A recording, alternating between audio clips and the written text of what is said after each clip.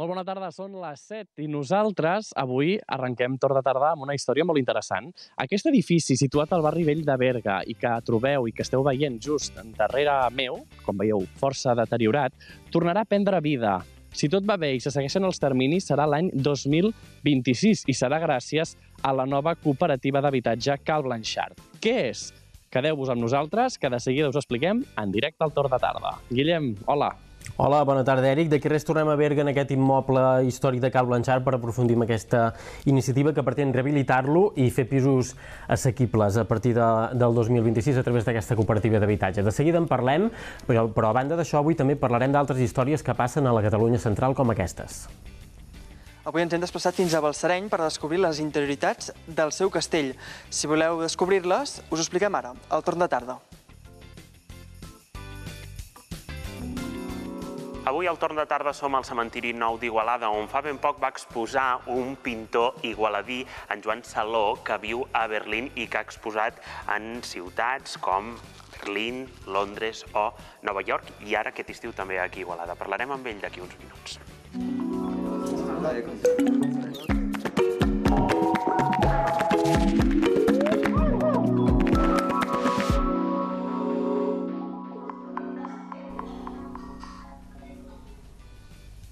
Cal Blanchard és una cooperativa d'habitatge creada per donar vida a un històric immoble del barri vell de, de Berga, per donar resposta a la manca d'habitatge que hi ha a la, a la ciutat. Es rehabilitaran els pisos interiors i els membres de la cooperativa, els socis de la cooperativa, hi podran anar a viure a partir de l'any 2026. Allà hi tenim l'Eric Calderé. Eric, tots els pisos ja tenen qui, qui pot anar a viure? Bona tarda, Guillem. Doncs uh, crec que no, crec que no. De fet, a la jornada de presentació que es va fer fa unes setmanes aquí, uh, al pati exterior de la casa i després doncs, amb la visita que es va fer a l'interior, van sortir uh, possibles persones que hi vulguin venir a veure, però que crec que encara encara ho podria fer algú que ens estigui veient. Ens acompanya l'Anna i la Sara en directe, dues membres de la cooperativa de Cal Blanchard. Molt bona tarda a totes dues. Hola, bona tarda. Bona tarda. Sara, explica'ns, d'on neix aquest projecte de Cal Blanchard? Bé, doncs aquest projecte va començar d'una manera molt espontània. Teníem un amic que va començar a fer hort aquí, aquí en aquest espai justament que, que esteu veient i que quan va entrar doncs, es va trobar, mmm, ell s'esperava, sempre ho explica, un hort mmm, doncs més, un, més modest i es va trobar tot aquest espai de jardí i d'hort molt més gran del que, del que es pensava i amb un edifici també enorme, degradat i buit, aquí fa molt de temps que, que no hi viu ningú, i per tant, a partir d'aquí, bueno, ho van dient al seu cercle d'amics més propers, després s'hi van afegint molta més gent i tots plegats doncs vam anar arrencant aquest projecte de, de, amb el primer objectiu de veure com es podia com revitalitzar això i fer un projecte de vida en aquest edifici. I aquí neix Cal Blanchard, que és aquesta imatge uh, d'aquest edifici que esteu veient ara mateix. Uh, Anna, quina és la idea uh, de vida en comunitat que voleu crear en aquí? Bé, la idea de, de fer l'habitatge cooperatiu és això, posar uh, la vida de, en comunitat uh, al centre. No? Llavors, uh, la idea és crear diferents espais, um, cadascú tindrà el seu espai privat, uh, s'està mirant de, no? de, que, que, de fer els habitatges, uh, diferents models d'habitatge perquè tothom, bueno, perquè uh, s'adequi a les necessitats de tothom i llavors um, un gran tant per cent de, de l'habitatge que l'ocupi a l'espai uh, comunitari no? com per exemple espais com grans menjadors, sales, um, sales de rentadora, biblioteca, um, bueno, aquests espais on, on es poden compartir i, i tot aquest espai de jardí, també hi ha uns locals en planta baixa que s'obririen més, bueno, que la idea és una mica obrir-los més al barri, perquè una mica els tres pilars del projecte són habitatge, cultura i comunitat, sempre l'expliquem d'aquesta manera, i per tant hi ha tot el tema de, de garantir mm, i fer possibles, en aquest cas hi hauria 14 habitatges, doncs un parc d'habitatges en un edifici on ara mateix estan tots buits, eh, treure'ls al mercat i garantir, per tant, un habitatge digne, assequible i estable a llarg termini. I a més a més d'això, doncs, també tot aquest projecte sociocultural associat que és possible gràcies a que plantegem també, bueno, i a part del projecte sociocultural, el projecte de comunitat, que és possible gràcies a que un, més d'un 40% dels espais de tot aquest uh, terreny i d'aquest edifici són comuns. Per tant, tota, també tota aquesta vida comunitària i aquesta possibilitat d'obertura i de, de cultura i de projecte sociocultural amb el barri són possibles gràcies a això. Sobretot un pilar important que considero que és uh, interessant que expliquem, que és uh, la, la revitalització del barri vell. Uh, en aquests moments, doncs, o, o els últims anys, uh, hi ha hagut aquesta tendència de que la gent marxava d'aquest punt de la ciutat, de fet del cor de Berga. Uh, L'objectiu aquí és el contrari, Anna, és que la gent vingui. Sí, sí, està clar. De fet, uh, molts, molts projectes d'aquests comencen al revés, uh, creant el, el projecte amb l'objectiu de fer habitatge cooperatiu, llavors buscant l'espai, el, el terreny o l'edifici, i en aquest cas hem fet totalment al revés. No? El, el, cone el conèixer um, aquest edifici, la història que té i bueno, totes les possibilitats i sobretot que està situat al barri vell, just al centre de, de Berga, doncs volíem anar a donar vida precisament aquí. Mm -hmm. Sara, full de ruta. Hem dit 2026 començar-hi a viure, si no vaig errat. Per tant, parlem de quina inici d'obres a finalització del 2026.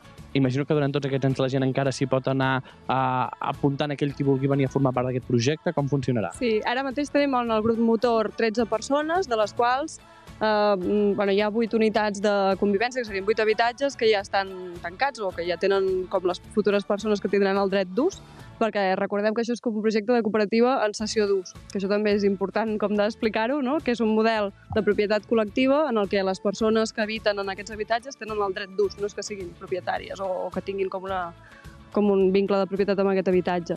I aleshores, eh, una mica ara el full de ruta com a curt termini és acabar d'omplir els habitatges que, que queden i per tant anar ampliant també aquest grup motor, que totes les persones que s'hi vulguin sumar, tant socis habitants com, com sòcies usuàries o col·laboradores, doncs es vagin incorporant, això en aquests propers sis mesos, i llavors una mica doncs, també anar avançant amb el projecte d'arquitectura, les llicències, tots els mm, diferents tràmits no?, que són necessaris i, i començar les obres a mitjans del 2024, eh, per, com deies, poder entrar a viure el 2000, a finals del 2026.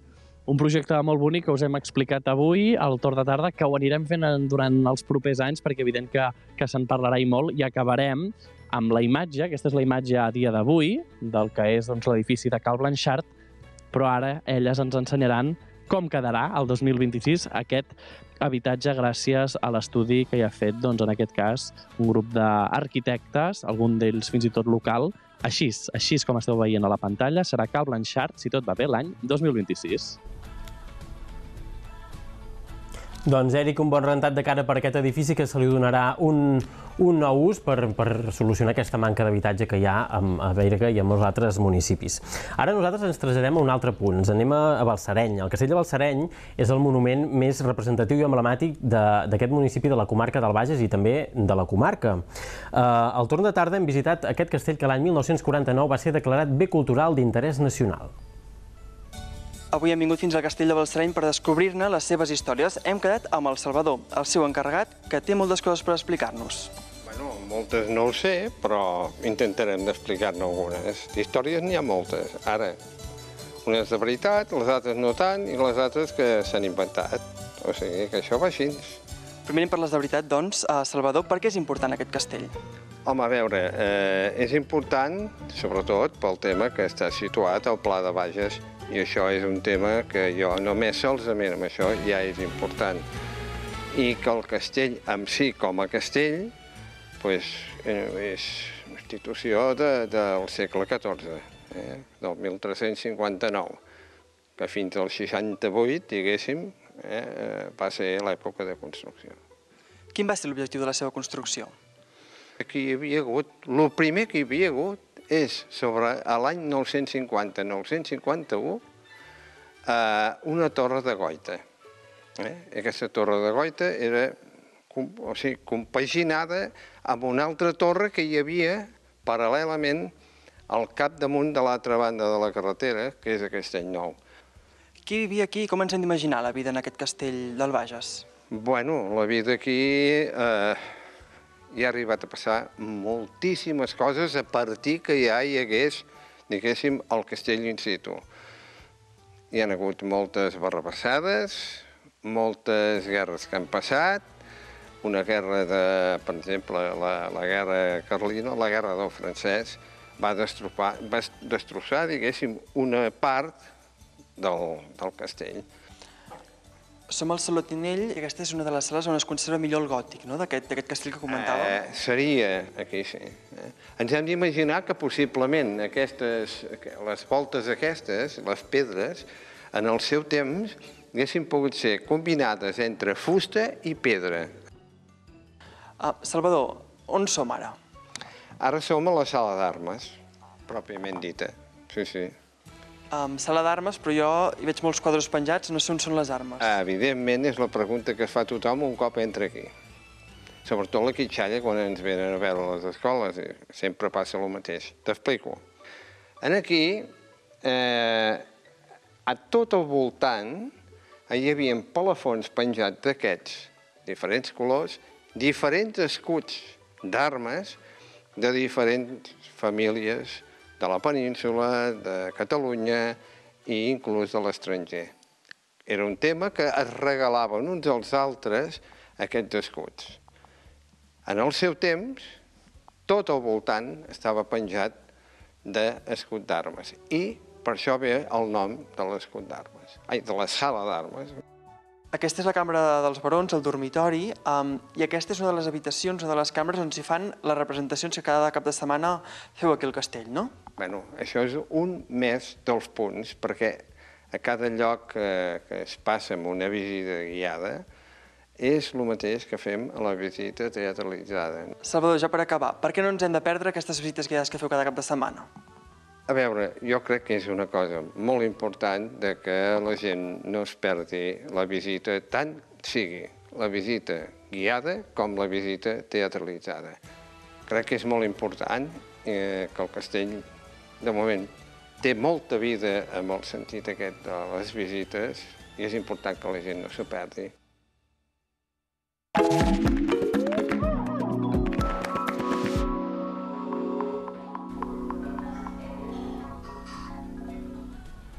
I ens desplacem ara fins a Osona per parlar d'una història d'èxit, i és que en qüestió d'un parell d'anys el Big Volley Callís ha duplicat el nombre d'equips i també el nombre de jugadors fins al punt que tenen llista d'espera, un fet que segurament no s'imaginaven quan es va crear el club. Fins a la pista d'entrenament s'hi ha desplaçat la nostra companya Caral Àrias. Caral, bona tarda. Per la teva alçada et feia més de bàsquet mm, que de vòlei, tirant de tòpics, eh? també t'ho dic. Hi han de tòpics, sí, Guillem, hola, bona tarda. Bé, jo per l'alçada el físic el tinc, eh, per jugar al vòlei, però després em veuràs veure, em veuràs a veure com puc jugar, tu mateix ho jutjaràs, però parlem amb les veritables protagonistes, perquè tenim a dues entrenadores i o una jugadora per parlar amb nosaltres. Comencem parlant, en aquest cas, amb la coordinadora esportiva, amb la Irene Montconill. Irene, bona tarda. Hola, bona tarda. Co coordinadora, però no, e no ets la coordinadora que va aparèixer des del principi, sinó que vas arribar quan ja el club estava format. Com va ser agafar el relleu de les impulsores? Doncs mira, eh, aquest serà, aquesta serà la segona temporada que estic aquí al Callís i va ser, vaig començar per casualitat, perquè va ser en una conversa de pàrquing de la meva parella, que es va trobar a l'Eva, que és una persona que està a la Junta i també està bastant des de l'inici de la formació d'aquest club, i va comentar que els hi faltava gent i això, llavors la meva parella va comentar no? que la Irene havia jugat molts anys a vòlei i ha sigut entrenadora també i això, i mira, van passar el contacte, em vaig posar en contacte amb ells i aquí estic. I a més a més ha sigut jugadora professional en, a, en aquest sentit. No sé com veus la projecció del vòlei femení. Molt bé, eh, bueno, eh, el vòlei és una cosa que, que m'agrada, ho porto a dins, no? I, i poder estar aquí, llavors també m'omple no? poder-ho transmetre als altres i la veritat és que en poc temps hem fet un augment molt important de jugadores, sobretot, i estic contenta perquè tenim projecció per créixer. Tenim una junta i un club que ens acompanya i el Departament d'Esports que també està darrere i també ens dona suport. Gràcies, gràcies Irene. Ens anem a parlar amb, la, amb una de les coordinadores. En aquest cas tenim a l'Andrea. La, Andrea, uh, bona tarda. I és que justament també ets l'entrenadora de l'equip que estem veient aquí competint. Com he dit, una de les coordinadores. Quants equips i quantes jugadores teniu ara mateix en el club? Tenim 16 equips federats, un total de 200 jugadores, en qüestió de dos anys hem doblat el número. Eh, són 16 equips, dels quals 14 federats i dos que només entrenen sense competir. I al principi només éreu jugadores. I ara tenim algun equip masculí? Sí, per primera vegada aquest any hem aconseguit formar un equip infantil masculí, són edats de primer i segon d'ESO, i bueno, estem molt contents perquè és una aposta del club també. I a més a més esteu entrenant aquí al, al pavelló de l'Institut del, del Jaume Callís. No sé si ens podeu avançar a on podreu competir o on jugareu els partits. Tenim força problemes d'espai, sí que és cert, però hem aconseguit tenir pista els diumenges al matí per competir a l'Osoneta. Per tant, el que farem és encabir algun dels 14 equips que competeixen al cap de setmana que puguin competir el diumenge al matí a l'Osoneta. Doncs bé, ens crides un moment a la capitana del teu equip, a la, a la, a la Marta Torra, perquè la Marta és la capitana d'aquest cadet A. Uh, Marta, ets una també de les veteranes no? d'aquest sí. equip. Uh, quan vas començar tu a jugar a vòlei? Fa 4 anys. 4 Fa... anys vaig i justament el fet de ser la capitana d'un equip en què s'han començat a afegir noies, com és gestionar tot això? Bueno, jo penso que a poc a poc s'ha d'anar acabant d'unir el grup i però penso que les noves que han vingut les hem acollit molt bé.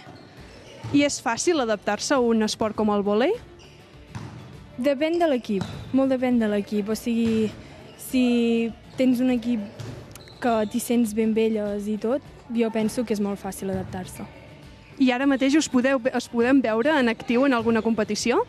Sí, estem jugant a tercera divisió catalana i sí, aquest cap de setmana juguem diumenge a, a fora, no, no me recordo on, però juguem a fora. Bé, doncs estarem pendents de com jugueu. Us, eh, creus que podré ajudar-vos a seguir-vos una mica? Us podré seguir el ritme? I tant, i tant. Doncs va, m'animo un moment, dos minuts, ara, ara em preparo ara mateix i ara veureu, uh, deixeu aquí a les coses, Bé, doncs esperem a veure, Caral, si estàs com, a l'alçada, com dèiem al principi, si estàs a l'alçada d'aquest d'aquests equips de, del club del Big Volley a Callís.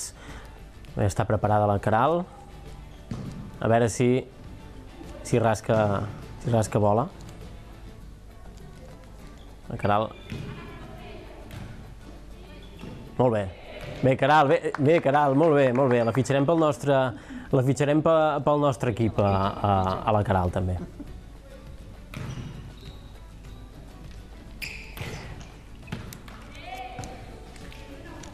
Bé, doncs no deixem de, de parlar d'esport eh, usonenc perquè des d'aquest mes d'octubre la comarca compta amb un nou campió mundial en, entre les seves files. En aquest cas es tracta del jove de Centelles, Adrià Garriga, que s'ha imposat en el Mundial de Futbol Taula, però en la categoria de xapes, que es va celebrar fa uns dies a Sao Paulo, al, al Brasil. Per això, però ara no el saludem, de, eh, ell no és a Sao Paulo, sinó que és en un altre punt de, de, en un altre país. Adrià, bona tarda.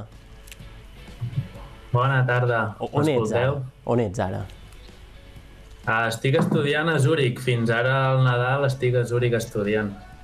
Explica'ns una mica, um, què se sent sent campió del món? No, és una pregunta que, que m'han anat fent una mica i al final, sobretot és l'alegria de compartir-ho amb tota la gent que m'envolta, que ha confiat d'alguna manera o altra en mi tot és aquesta alegria, no és tant de dir, oh, sóc campió i de fardar d'això, perquè no, tampoc és, és el fet, la veritat. Explica'ns una mica com funciona aquesta disciplina del futbol taula eh, en la categoria de, de xapes. Com funciona això? Sí, bàsicament són 11 xapes cada equip. És una taula més petita que una taula ping-pong i hi ha com una felpa així rugosa i llavors és bàsicament, normalment és un tir per banda i hi ha una pilota també que seria com una canica de plàstic així petita i bueno, és bastant semblant al, al futbol i també en temes d'estratègia, els escacs i el billar per la tècnica. Uh, com va anar la, la competició? T'esperaves guanyar? Va, va ser complicada la final? Eh, no, la veritat és que no, no m'esperava guanyar, perquè jo aquí a Catalunya eh, jugo a futbol botons i he jugat sempre a futbol botons, que seria una modalitat diferent. Per tant, allà vaig anar una mica a disfrutar l'experiència i amb la modalitat de xapes vaig anar fent partit a partit, molts, la majoria, molt ajustats, i mira, vaig anar fent el lloc fins la final i la final va anar bastant millor, va ser dels millors partits. Ens deies això, eh, que la modalitat de, de, de xapes no va ser l'única en la que vas participar. Exacte, vaig participar en tres xapes, una que es diu Sector Ball, que és molt tècnic, i l'altra que és 12 toc, que es diu, que aquesta és, és més dominar els brasilers i és més xuts per una banda i per l'altra tota l'estona. Eh.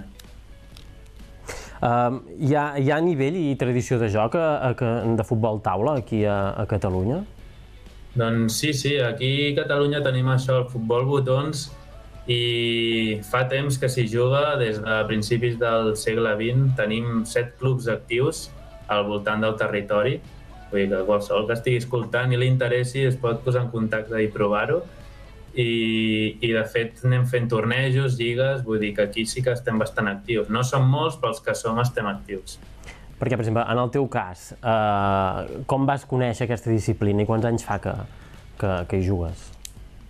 A mi, òbviament, jo crec que la majoria de gent que juga li ha de tocar de prop. En el meu cas és totalment familiar. El meu pare ja m'hi va introduir des de pràcticament que vaig néixer i llavors també he estat jugant sempre amb el meu tiet i el meu cosí. I al poble també, a Centelles, tenim l'associació de futbol botons d'Osona, que és on he jugat quasi sempre. Vull dir que al final m'ha tocat de família de prop i he anat practicant al poble, que m'ha anat molt bé. Llavors, això quina dedicació hi tens, allò com, diguem, d'entrenament? Quan, quantes hores hi dediques, no sé, a la setmana? Uh, jo al final és el que deia algun altre lloc i quan m'ho pregunten és, és que jo com a entrenament com a tal mai m'ho he pres així. Jo al final és sempre el plaer de jugar, tant si fes amb família, amb amics, qualsevol excusa és bona, les lligues, moltes tardes, encara que no hi hagi partits de lligues, anar amb algú a jugar, a entrenar passes, a fer amistosos amb certs, certes normes, anar fent, anar fent, anar practicant i passar-s'ho bé. No sé si ja per acabar tens intenció de participar en altres competicions i tornejos internacionals? Doncs sí, sí, al final era tot una mica... Encara a nivell internacional s'ha estat tot una mica coent encara. Uh, sobretot aquí a Espanya, a Catalunya, no s'havia entrat mai en l'àmbit internacional. Cada cop hi ha més vincles creats entre associacions i federacions, així que sí, la idea és que es puguin anar fent més tornejos, també europeus, i a nivell català, òbviament, seguir a tots els tornejos i lligues que ja, que ja estava participant fins ara. Doncs Adrià Garriga, moltes gràcies i enhorabona per aquest, per, per aquest títol mundial. A vosaltres, un plaer estar aquí. Molt bé, moltes gràcies. Eh, ens anem, canviem de tema, d'Igualada a Berlín, però passant per exposar a Nova York i Londres. Joan Saló és un pintor anuyenc que triomfa amb els seus quadres a Europa i Amèrica del Nord. Ha tornat uns dies a casa i Sergi Lledó hi ha pogut parlar. Ens trobem al cementiri nou d'Igualada, un espai que fa la seva funció però que a més també és un espai turístic i a vegades també un espai per artistes. I avui ens acompanya un artista, un pintor igualadí, en Joan Saló. Joan, què tal, com estàs? Molt bé, gràcies. Aquí fa ben poc, al cementiri nou, i vam poder veure sis quadres teus, si no m'equivoco? Sí, exacte. Com va anar això? Molt bé. Vaig fer una intervenció amb uns quadres de gran format i tots monocroms, que era un projecte que ja portava preparant des de feia molt de temps i, com tu dius, coincidint amb l'any de la capital cultural d'Igualada, es va inaugurar, va ser un únic dia de... es van treure i es van instal·lar per aquest dia i l'endemà ja no, no es van poder veure, va com, ser només una tarda. Com és que vas marxar d'Igualada? Vas acabar els estudis aquí a Barcelona, no? Sí, vaig de, de, a Barcelona. De Belles Arts, però després, si no m'equivoco, te'n vas anar a Itàlia per sí, seguir no, aquests vaig estudis? acabar Belles Arts a Barcelona i vaig estar un any treballant aquí en una impremta de dissenyador gràfic i llavors quan vaig passat aquest any vaig estar un any a Itàlia, sí que vaig tornar a matricular-me a Belles Arts a fer un curs i després vaig tornar aquí a Barcelona uns mesos i bueno, després vaig tornar a marxar a Irlanda i després ja el 2010 amb una beca d'aquestes com un Leonardo es deien, vaig anar a fer d'assistent en una galeria d'art de Berlín, que coneixia ja gent que hi treballava, i m'hi vaig quedar. I allà t'has sí, quedat? fa 12 anys. Quan vas tardar a exposar en una galeria a Berlín? Vas Doncs- arribar al 2010, no?, més o menys? Doncs... Uh, es pot dir que quasi 10 anys. No, jo vaig a Berlín hi he exposat amb, amb que em diuen, amb, com Project Space, com amb, amb espais més alternatius o, o fins i tot amb galeries havia exposat, però ara representa, tinc una galeria que em representa i he fet ja una exposició individual i suposo que l'any que ve o d'aquí dos en faré una altra. Has, exposat, jo, ja has aquestes- exposat en molts altres països. Sí, però també moltes vegades els, és a dir, els quadres volen, jo no. Moltes vegades és només enviar els quadres i, i s'exposen, però jo, això, jo tinc un, ara tinc aquesta galeria a Berlín, una a Grècia, i una a Itàlia i un als Estats Units, però moltes vegades jo envio els quadres i llavors ells van en fires, des de les exposen a un altre país i jo no, no hi No vaig. saps on van. Més o menys, m'expliquen, mira, he anat aquí, l'he vengut, o he anat aquí, no l'he vengut, però, però jo no, no, no em moc tant com els meus quadres. Estic bastant a, quina- Berlín, sí. A quines ciutats uh, han anat aquests quadres? No Londres, Nova York, si no m'equivoco? Sí. No sé si tu amb ells, eh? No, en i, i en fires jo tenia aquesta galeria de Nova York abans i he exposat en fires a San Francisco, a bastantes dels Estats Units, San Francisco, Nova York, Houston, em sembla que és allò. Tot, als Estats Units, en moltes ciutats així mitjanes, a Itàlia també ja hi vaig estudiar allà i he tingut, una, he tingut sempre bastantes galeries a Itàlia, he exposat també a Milà, a... Déu-n'hi-do. Sí, a part. A, sí, a, vaig exposant, però això funciona així, si no, No, no, si clar, no, no sí, hem- funciona. Hem de tirar endavant, no? Sí, s'han de moure, però Però Igualada fins aquest any no, Joan. no havia exposat mai a Igualada. Això, Nova York sí, però Igualada no. Part dels quadres que es van exposar aquí al, al cementiri després s'han exposat al museu, sí, i alguns de sèries anteriors. Hi havia, com que, com et deia, la, la intervenció d'aquí va durar només un sol dia. Des de l'Ajuntament van dir, bueno, ja que tens els quadres aquí, a veure si, si fas que, que es puguin veure més dies, i, tu, i em van oferir la sala de les encavallades, que és també un espai difícil amb la llum i això, i a mi m'agradava la idea de només exposar un dia i aquí al cementiri. Però, diguéssim, vaig cedir una mica i, i sí, vaig exposar també els quadres a, al, al, al Museu Comarcal. Doncs fins aquí arribem al torn de tarda d'avui, dimecres. Nosaltres hi tornem, com sempre, demà per parlar de més històries que passen a tot el territori de la Catalunya central, que acabeu de tenir, de tenir un bon dia. Fins demà.